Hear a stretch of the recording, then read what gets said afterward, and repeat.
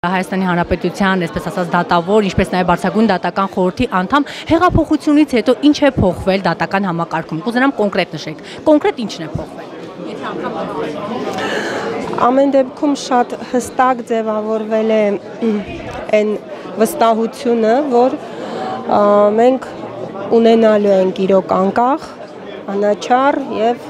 ուրեմն հպարտ դատարան, դատական համակարգ։ Զանգերի հետ կապած մշտապես բարձրաձայնում եմ ասին, որ եթե նախկինում նախագահականից կառավարությունից էին զանգում, ապա հետաքրքիր է իմանալ հիմա որտեղից են զանգում։ Ճիշտ ասած ինձ ոչ մի տեղից չեն զանգել, այդ հարցին չեմ կարող պատասխանել, ես այդպիսի զանգերի տեղյակ չեմ։ Դուք Բարսագույն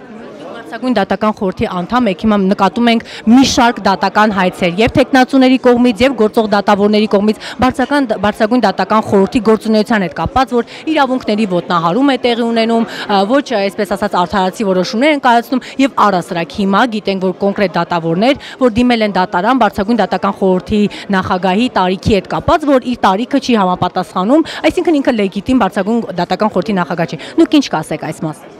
Ուրեմն ամեն դեպքում եթե մարդիկ դիմել են դատարան, ապա ակնկալիք ունեն դատական պաշտպանության, հետևաբար դատարանը կտա հարցերի պատասխանը Իսկ գործընթացի վերաբերյալ գործընթացը շատ դրական եմ գնահատում։ Սա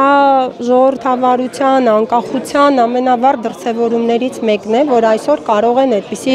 քայլեր անել ազատ, անկախ եւ որևէ ձևով չկաշկանդվեն որևէ հանգամանքից։ Եվ ֆեյքերի հետ կապված հետաքրքիր եմանա շատ հետաքրքիր հարց բարձրացեց վարչապետը ֆեյքերի հետ կապված ազգային անվտանգության ծառայության հստակ հանձնարարականներ տվեց հետաքրքիր եմանալ դուք ֆեյք ունեք Չէ, ես չունեմ։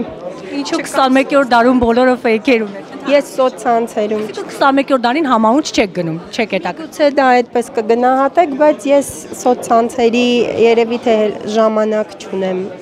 Այսինքն եթե ազգային անվտանգության ծառայությունը բոլոր դեպքերում մտնի դատական համակարգ, դուք ապահովագրված եք, դուք ֆեյք չունեք։ Այո։